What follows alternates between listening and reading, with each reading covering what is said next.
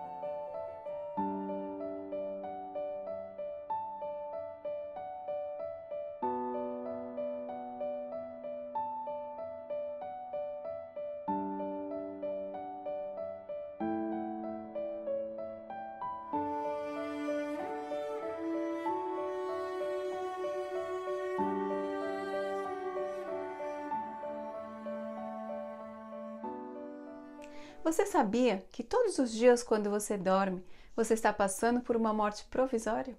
Uhum.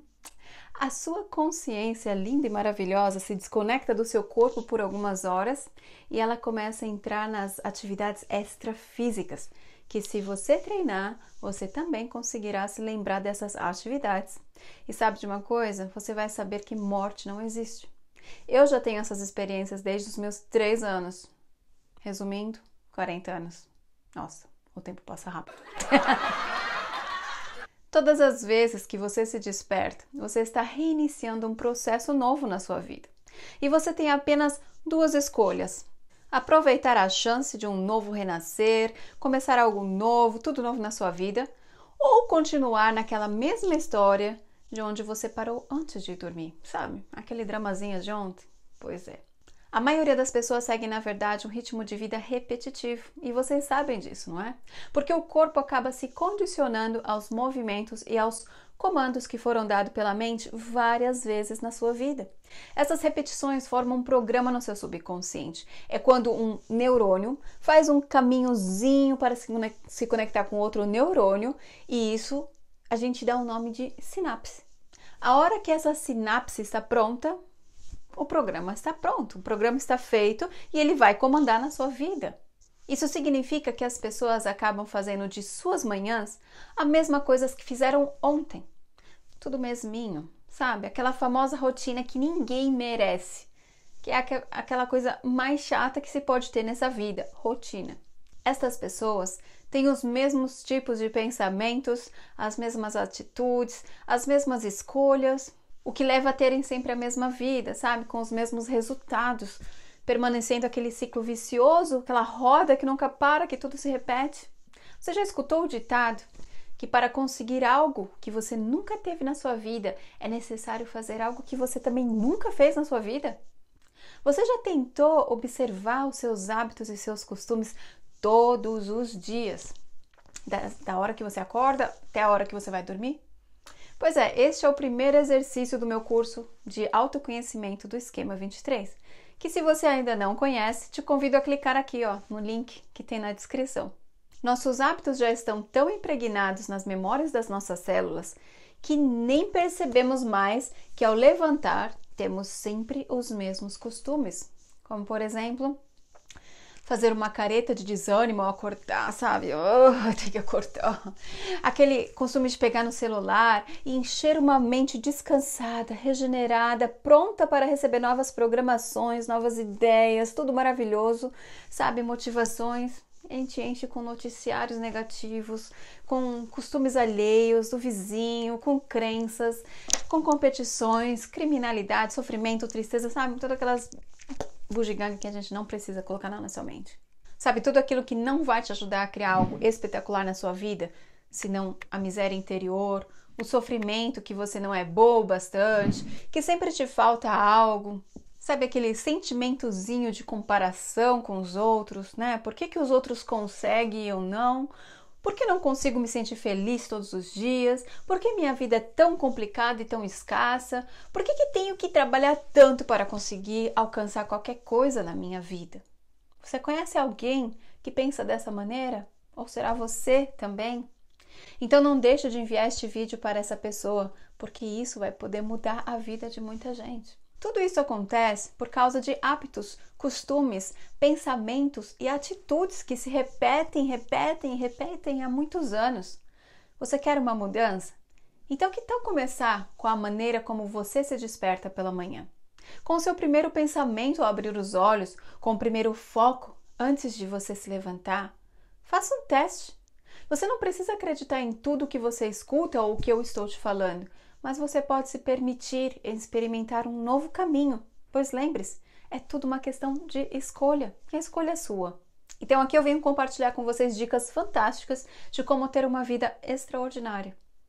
Primeiro de tudo, você vai mudar a maneira como você vai para a cama. Sim, pois tudo começa nas horas antes de você ir se deitar. A partir de hoje, coma coisas leves, 100% vegetais. E o que significa isso? Sem produtos provenientes de animais, como carne e derivados do leite, por exemplo. Coma 4 horas antes de se deitar e beba um copo de água. Sim, é isso mesmo que você está pensando. Você vai dormir com o estômago vazio, porque seu intestino precisa de tempo suficiente para fazer aquela faxina, sabe? Sabe aquela faxina do ano? Pois é, para te auxiliar com seu sistema imunológico. Segundo passo: não assista filmes à noite antes de dormir e nem fique nas redes sociais se alimentando de baboseiras audiovisuais. Se acostume a ler livros motivacionais ou de autoconhecimento, livros que vão te fazer crescer. Você não gosta de ler? Então aprenda. E você também tem vários áudios para você escutar. Você não precisa simplesmente ler, mas você pode também colocar o fone de ouvido e escutar aquelas palavras daquele livro. Lembre-se, para ter uma vida que você nunca teve, é necessário fazer algo que você nunca fez. Então, se você não está acostumado a ler livro, você vai precisar começar a ler livros. 3.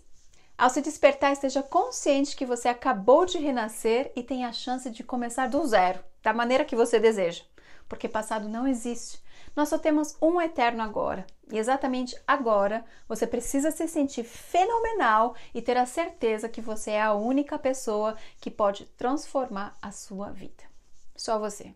Quarto passo: Sente na cama, coloque suas mãos em forma de agradecimento na altura do coração, toque com o polegar no seu coração e agradeça por mais um dia que você poderá ser contribuição neste planeta e na vida de uma outra pessoa, através do amor que você carrega com você. Quando você ajuda alguém a iluminar o caminho dela, você está automaticamente iluminando o seu caminho também. 5. Esqueça seu celular. Se te ajudar, Compre um despertador antigo para você não ter que dormir com o celular perto de você, o que é muito prejudicial para a sua saúde. Levante, vá lavar o rosto, tome seu café da manhã, se concentre em cada pensamento que você for ter, em cada movimento, em cada atitude, em cada palavra. Agradeça por cada momento em que você está conseguindo gerenciar com a sua consciência e não mais com o piloto automático da sua subconsciência. 6. Beba um copo de água e a cada gole agradeça pela saúde, pela paz, pelo amor, pela alegria, pela prosperidade. Eu já faço isso há alguns anos e eu posso te dizer que realmente funciona e me faz muito bem. Sétimo passo: reserve 10 minutos de silêncio para acalmar a sua mente. Feche seus olhos, respire fundo três vezes, se concentre nas batidas do seu coração e aproveite a jornada para dentro de você. Experimente essas sete dicas por uma semana e veja que linda transformação você sentirá no seu ser e no seu dia a dia. Se você gostou desse vídeo, deixe seu like e compartilhe. Estarei trazendo mais conteúdos como este para que você também tenha uma vida tão fácil, tão plena e tão perfeita, porque você merece. Me conte aqui nos comentários como é que foi a sua experiência. Eu te desejo um lindo despertar, muita paz, muito amor e muita saúde. Um beijo no seu coração.